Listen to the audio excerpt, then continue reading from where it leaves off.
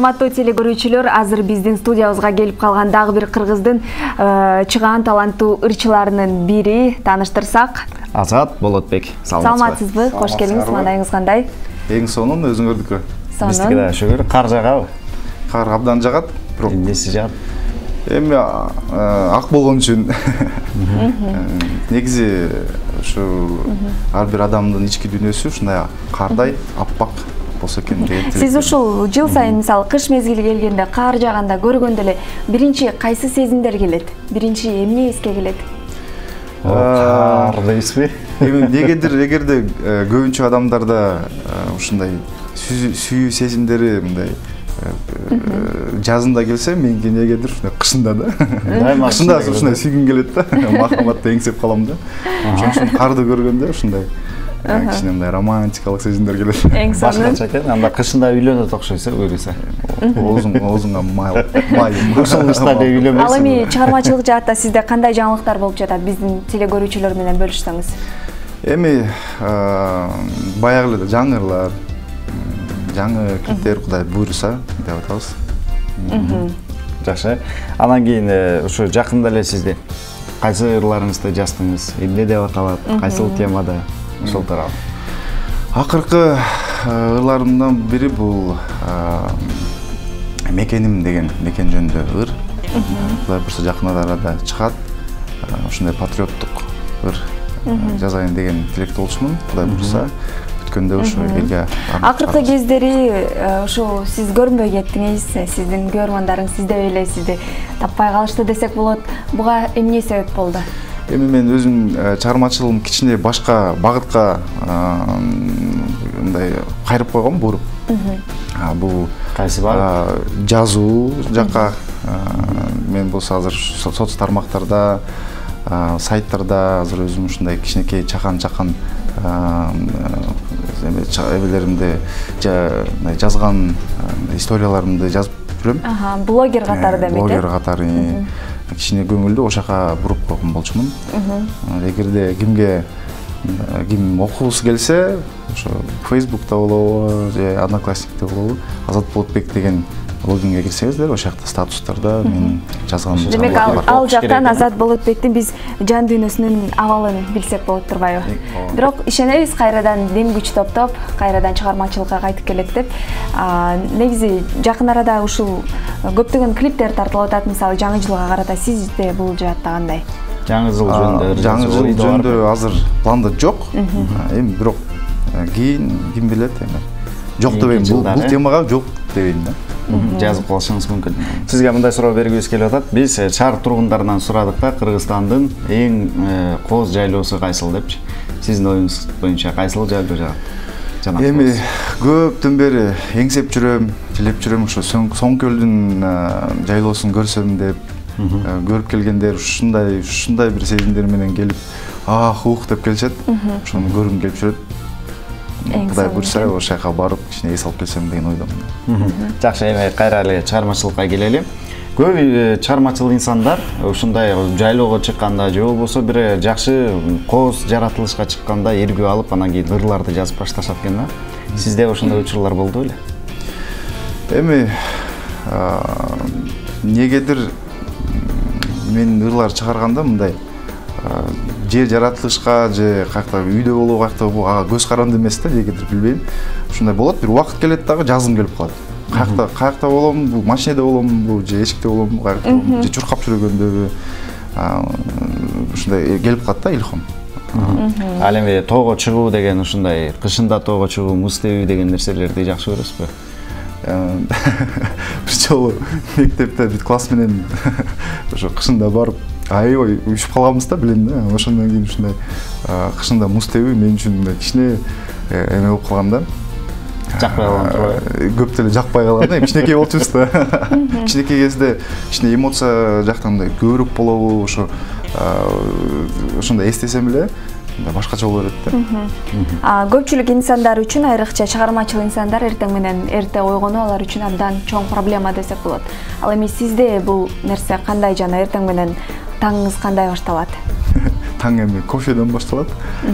Эрте эле турасызбы эми эрте турган көп деле проблема эмес мага мындай билбейм эмнегедир ушинтип айтышат бирок эми чыгармачылык адамдар деле түшүнсө болот себеби дегенде алар түнгө чейин ушундай түнү бою иштешет дегендей концерттери бар клубтарда дагы ушундай ырдашат ошондуктан мындай башка административдүү адамдарга караганда алар түшүнсө болот да.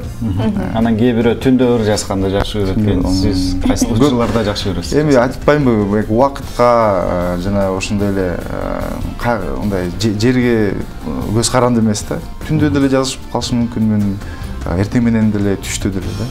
Эң сонун экен жакшы бүгүн билесизби эл аралык тоолор күнү экен да? Куттуктайм сизди дагы куттуктайбыз ошо тоолор күнү тууралуу бир жакшы материал бар. Ошого сиз менен чогуу күбө бололу анан кийин бул жактан сиздин жакшы бир чыгармаңыздын бирисине кезек беребиз жандуу аткарууда макулбу макул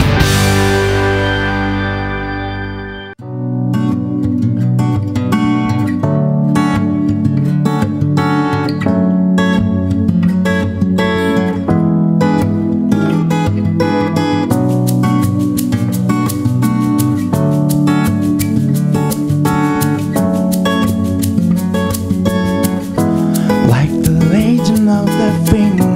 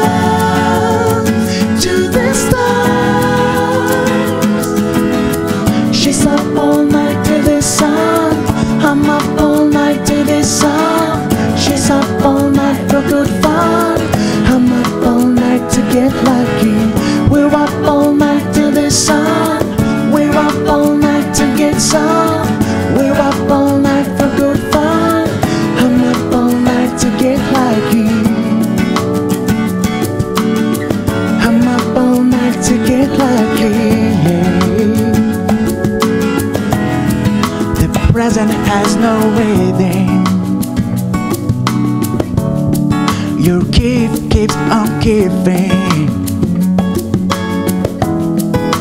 What it is I'm feeling? Uh huh. You want to live, I'm with it. Yeah, yeah.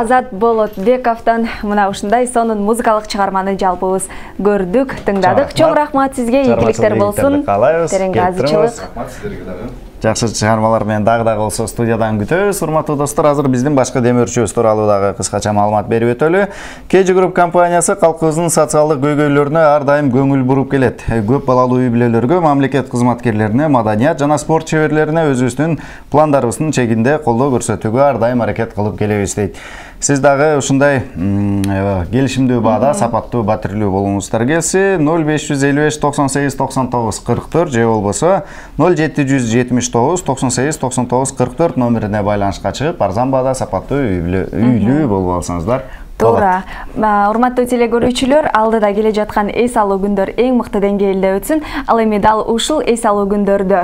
Эгерде колуңуз бош болуп калса анда tskg сайтына кирип биздин өтүп кеткен эфирлерди көрсөңүз болот. Facebook социалдык тармагынан таңкы бешинчи баракчасына бизге кат жөнөтсөңүздөр. Албетте биз ар дайым биздин теле көрүүчүлөрдүн ортосунда көпүрө болуп берүүгө даярбыз. Ооба жана сөзүбүздүн башында айтып өткөндөй эле куттуктап жатканда алдын ала куттуктаңыздар себеби дегенде мындай биз эфирге отуруп калганда куттуктоолорду жиберсеңиздер ал кийинки күнгө калып калат андыктан барыңыздар. Ким куттуктайт качан куттуктайт кимди куттуктайт анан албетте номерин жакшылап карап чалып текшерип туруп анан кийин бизге жиберип койсоңуздар сиздердин куттуктооңуздарды өз дарегине биз жеткиребиз деп сөз беребиз кызматыңыздарда каныша ырысбекова жана кесиптешим нияз манбеков экөөбүз болдук урматтуу теле көрүүчүлөр дүйшөмбү күнү сиздер менен кайрадан амандашканча сак саламатта туруңуздар көрүшкөнчө